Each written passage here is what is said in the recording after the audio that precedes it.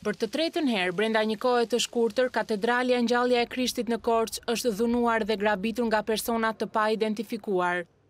Autorët kanë hyrë në katedrale gjatë ditës në meshë dhe kanë qëndruar të fshehur derisa objekti është mbyllur dhe kujdestari është larguar.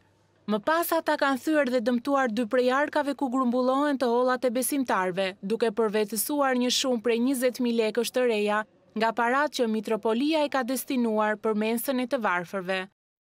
At Ilia Kotnani shpreh shqetësimin për këtë ngjarje të përsëritur, duke thënë se tashmë s'ka më siguri për objektet fetare. Vala e vjedhjeve vazhdon të ndihet edhe sot.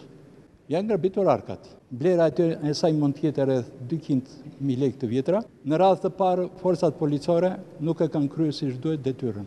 Sipas At Ilia Kotnanit, autoritetet tregohen indiferente kur bëhet fjalë për vjedhjen e një kulti fetar.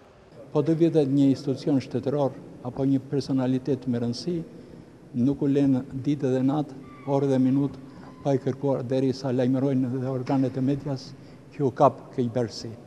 Ndërsa neve, me përjashtim të një rasti, që kanë zënë, ishte nga një rreth i Myzeqesë, nuk u kemi patur asnjë kontakt që të jetë dënuar diçka.